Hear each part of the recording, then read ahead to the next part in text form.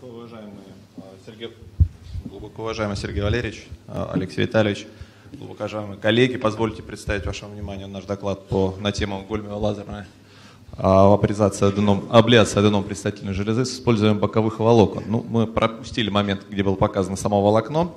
А, первый клинический случай показано, что есть все показания для оперативного лечения, однако, обратите внимание, Пациенту выполнено было ранее протезирование митрального клапана и принимает варфарин с целевым уровнем МНО 2,5-3,5.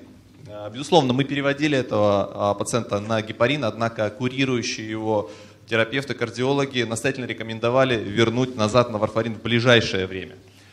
А, у пациента оказался камень, совсем небольшой мочевого пузыря. Преимущество гольмиевого лазера в том, что для нас не явилось это никакой проблемой. Камень был очень быстро фрагментирован, и затем он а, ушел вместе с оставшимися фрагментами, которые попадут в мочевой пузырь а, аденоматозной ткани.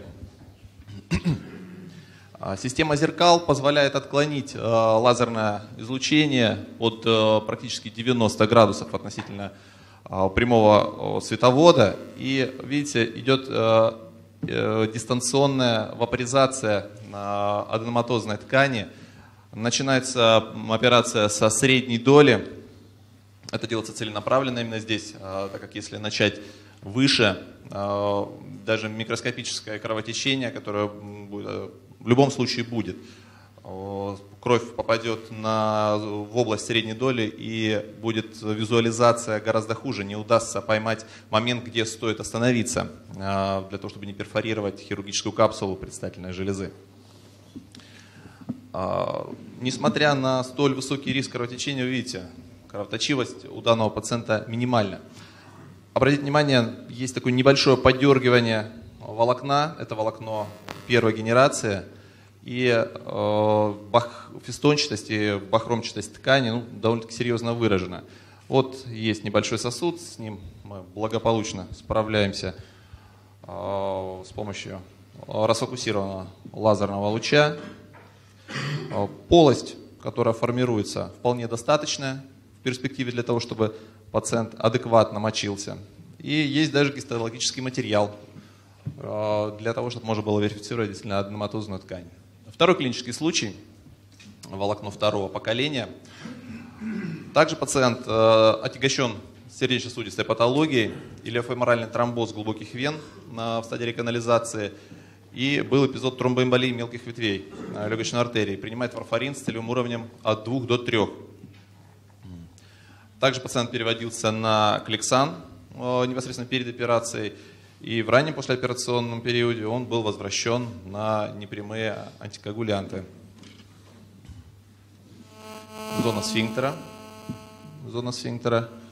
Она как в начале, так и в конце операции э, контролируется нами. Видите, она будет в конце операции видно, что она интактна. А, аденоматозные доли плотно прилегают э, и действительно мешают пациенту а, осуществлять адекватное мочеиспускание.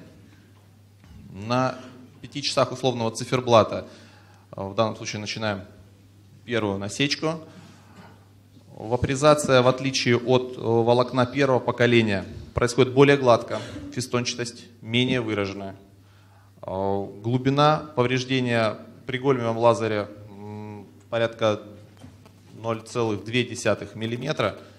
А, дистанционное воздействие на ткань здесь хорошо как раз прослеживается. То есть мы можем контролировать ту зону, где идет операция. Это будет большим преимуществом в отличие от контактных а, лазеров, опять же, которые позволяют выполнять абляционные технологии. Но Основное использование гольмевой лазерной технологии – это, безусловно, нуклеация. И э, лишь маленькая доля пациентов, маленькая доля, э, кому имеет смысл выполнять э, абляционную технологию с использованием этого лазера. Вы видите, что несмотря на то, что выполняется абляция, постоянно возникает желание перейти к энуклеации. И сейчас как раз четко видно, как формируется отдельная доля, а, правая, правая доля отдельно выделяется А в перспективе можно было бы все это завершить, э, закончив круг и просто отделив эту аденоматозную ткань, э, выбросив полость мочевого пузыря. Но ради чистоты, ну, сказать, не то чтобы эксперимента, но ради чистоты э, исследования и конкретно клинического случая, абляция была выполнена в полном объеме. А, безусловно, нельзя назвать эту операцию радикальной. Но для этой категории пациентов радикальность, наверное, и не требуется. Вопрос о сохранении качества жизни, в улучшении качества жизни относительно того, что имеет этот пациент. Пациенты не молодые, с выраженной сопутствующей патологией, и предполагаемая продолжительность жизни у них небольшая.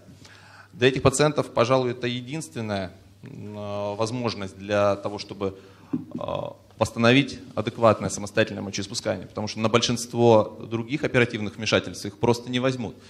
А посмотрите, вот здесь сейчас четко будет видно, как мы подходим к границе, вот, границе хирургической капсулы и аденоматозной ткани. То есть, по сути, дальше, если пойти по этой границе, мы сможем выполнить нуклеацию.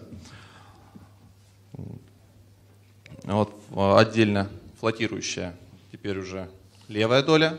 А, также она была выпарена полностью до конца, без каких-либо обманов, то есть вапоризационная технология. Видите, при отсутствии ирригации кровотечения практически нет. Тот мизер, который накопился внизу, можно не учитывать. Этому пациенту также все перспективы благопол... нормального мочеиспускания были весьма велики. Выводы. Даже крайне высокий риск э, интро- и послеоперационных, крайне высокий риск сердечно-сосудистых осложнений не ограничивает на сегодняшний день э, пациентов в получении хирургического лечения по поводу аденомы предстательной железы.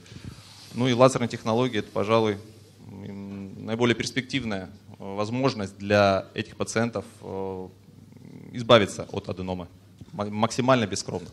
Спасибо.